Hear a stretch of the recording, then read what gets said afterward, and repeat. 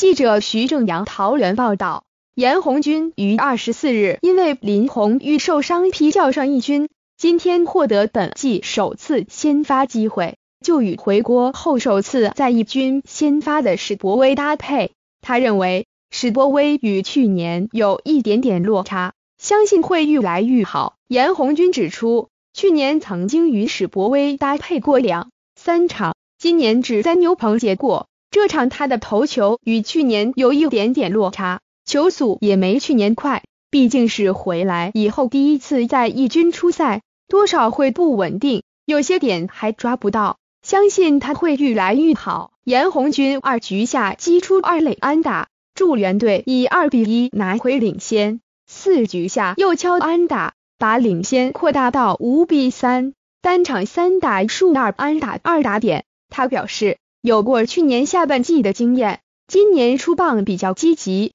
也不会想太多，差不多是好球就打。颜红军本季首次先发。